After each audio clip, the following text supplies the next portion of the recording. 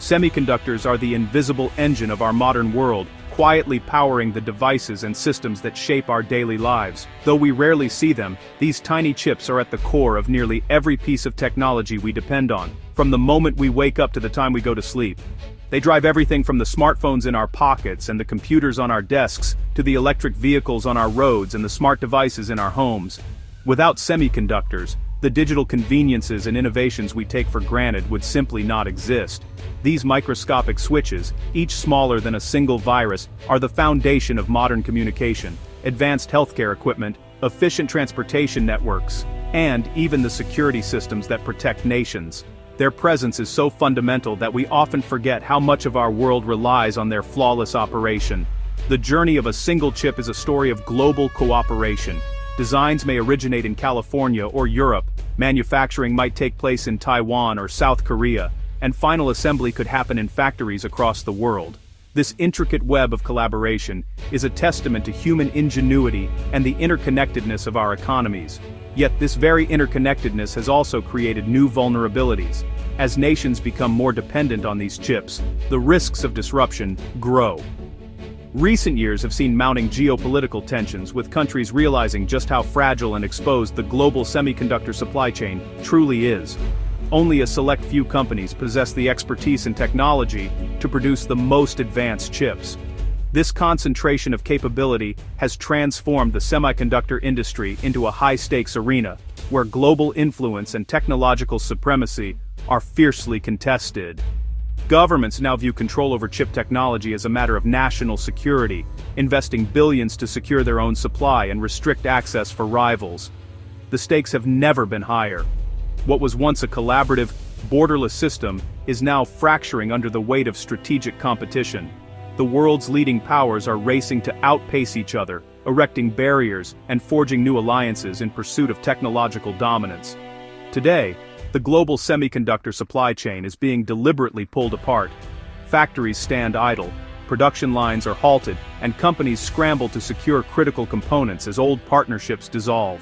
Nations are blocking rivals' access to essential chip-making tools and materials, imposing export bans and restrictions that escalate tensions. These actions threaten to usher in a new era marked by scarcity, uncertainty, and the real possibility of technological conflict. The battle for control over the world's most critical technology is no longer hidden, it is an open confrontation with consequences that will shape the future for every nation, every industry, and every individual on the planet. At the heart of advanced chipmaking stands ASML, a Dutch company that has quietly become one of the most important players in the global technology landscape. While it may not be a household name like Apple or Samsung, ASML's influence reaches into nearly every device we use today. The company holds a monopoly on extreme ultraviolet, or EUV, lithography, a technology so advanced that no other firm in the world can match it. EUV machines use incredibly short wavelengths of light to etch the tiniest features onto silicon wafers, enabling the creation of the most powerful and efficient microchips. ASML's machines are engineering marvels, each the size of a city bus and costing upwards of $200 million.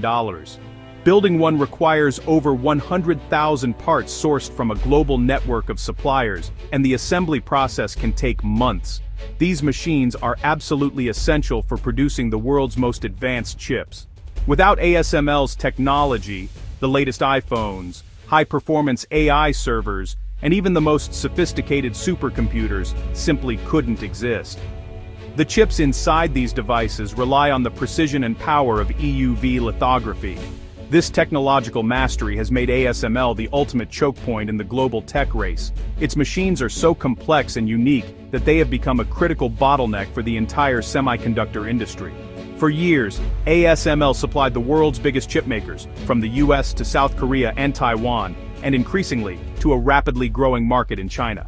Its reach is truly global, and its customers include every major player in the semiconductor world. But, this unique position has not gone unnoticed. Western policymakers, especially in the US and Europe, have come to see ASML as a strategic asset. They believe that restricting China's access to EUV technology is crucial to slowing its technological rise and maintaining a competitive edge. As tensions between the US and China escalate, the fate of ASML has become central to the global rivalry over technology and economic power. The company now finds itself at the heart of a geopolitical tug-of-war. Today, ASML's sales and technology are inextricably linked to a worldwide technological blockade, with export controls and trade restrictions shaping who can access its groundbreaking machines. A once obscure Dutch company now sits at the very center of a worldwide power struggle, its technology shaping the future of global innovation and competition. The US, alarmed by China's rapid tech advances, shifted from competition to containment, Washington pressured the Dutch government to block ASML from selling EUV machines to China, citing security risks. Reluctant at first, the Netherlands eventually aligned with the US, banning EUV, and, later, advanced DUV exports to China. These controls created a technological barrier, aiming to keep China generations behind. For a while, it worked. Chinese firms struggled to advance, and the West's lead seemed secure. But the blockade only fueled China's determination. Beijing saw the controls as economic warfare and doubled down on self-sufficiency.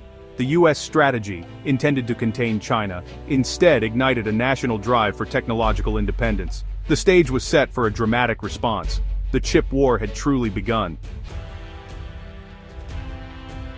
In response, China launched its own Manhattan Project for chips, aiming to break ASML's monopoly. Led by Huawei and backed by unlimited funding, China recruited top engineers from around the world with huge incentives. Foreign experts worked in secret labs, blending global expertise with relentless reverse engineering of older ASML machines. Chinese teams scoured the globe for second-hand equipment, disassembling and analyzing every part. By early 2025, China announced a working EUV prototype, a breakthrough few thought possible so soon.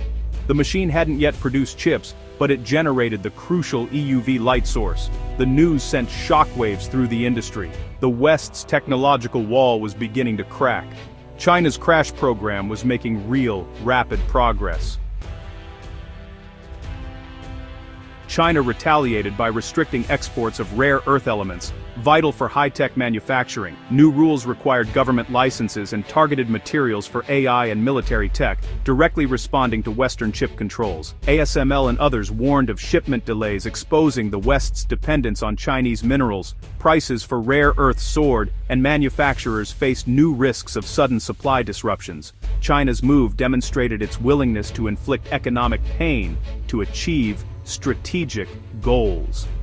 The message was clear, restrict our tech, and we'll restrict your raw materials. The global supply chain fractured further, pushing the world toward rival economic blocks. The era of collaborative supply chains was ending. The tech war had become a two-way street, Tensions peaked when the Dutch government seized Nexperia, a Chinese-owned chipmaker in the Netherlands citing national security. The move disrupted global car production and angered Beijing, which called it blatant protectionism. Europe was no longer a bystander. It was picking a side in the tech war. The seizure set a precedent, raising fears of retaliatory actions against Western assets in China. It showed Western governments were willing to dismantle existing economic ties for security. The cost, economic self-harm, and deeper diplomatic rifts. Europe faced a painful choice between security and economic interests. The global economy entered even more turbulent waters. Public statements from leaders often lagged behind reality. ASML's CEO insisted China was a decade behind, even as evidence mounted of rapid Chinese progress. The announcement of China's EUV prototype shattered Western assumptions. China's strategy of talent recruitment and reverse engineering was working.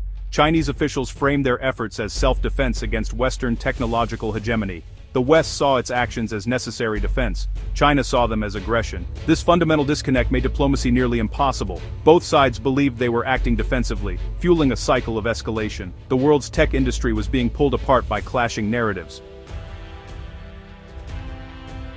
The semiconductor industry, once the backbone of a tightly connected global economy, is now splitting into rival self-sufficient blocks. For decades, microchips flowed freely across borders, powering everything from smartphones to cars, and enabling a level of innovation and efficiency the world had never seen before.